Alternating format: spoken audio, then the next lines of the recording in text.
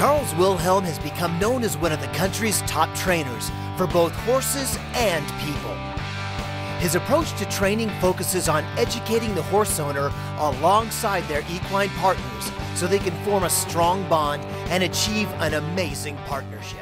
I'd like to go over a few things that uh, not only that you can uh, assess your horse, but also maybe uh, if you're purchasing a horse, looking for a horse that you can look for. And these are the kind of things that I like to look for.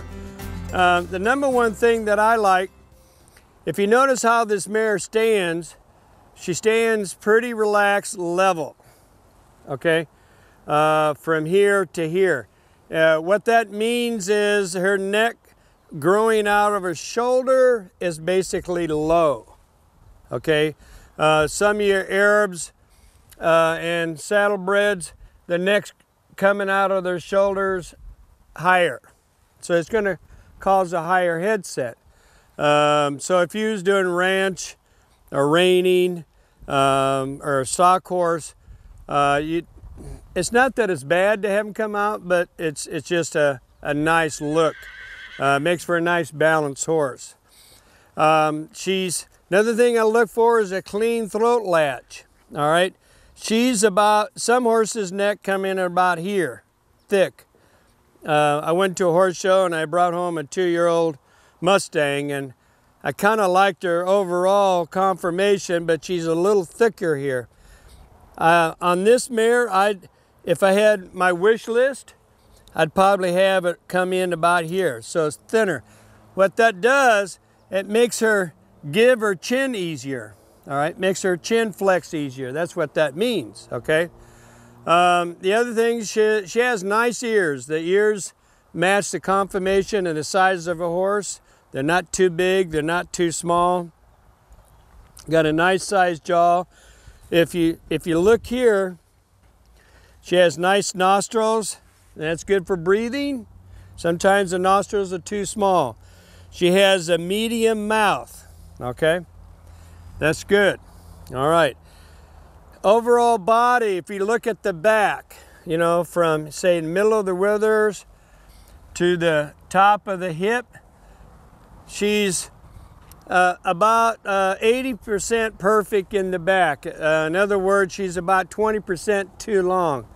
Uh, I don't want a, a back that's real short coupled. You can hardly get a saddle on, and there's some quarter horses out like that. Uh, but if the back is a little bit shorter, it makes it easier for her to stop and get under herself. Um, the cannon bones, what I do like about her, she has medium to uh, small cannon bones. In other words, from the, the knee and from the hock uh, is about medium or average. And if you look at her, also, if you look at the front and the rear, she has nice muscle tone. Overall, she has nice muscle tone. If you look over here, definition right in here, in here, in here, right, right in here, nice muscle tone, which means uh, she's uh, been ridden fairly balanced. In other words, a lot of horses carry themselves in the front end and they'll have nice big shoulders, beefy shoulders, but the hips don't match the shoulders, okay? She has a relatively deep heart girth, okay? All right? Uh, what I like about that is uh, uh, a little, she'll have a little bit more larger lung capacity for breathing. That's what I like about her.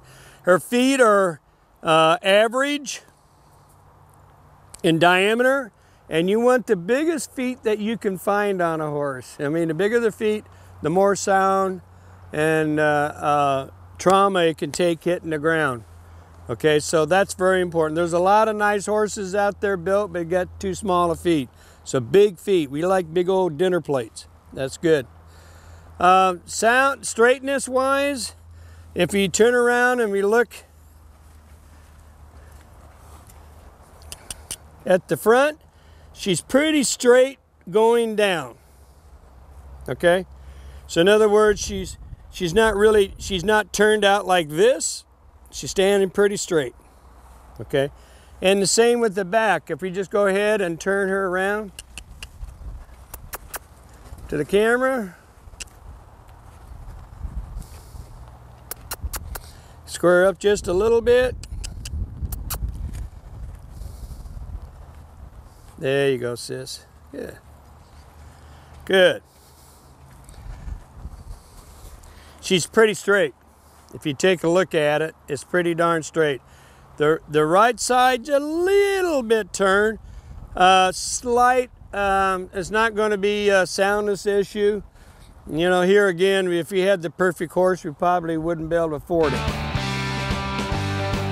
We hope you've enjoyed watching Charles Wilhelm's Ultimate Foundation Horsemanship. Remember, to find out more about Charles and to see how you can get the most out of your relationship with your horse, visit Charles online at charleswilhelm.com.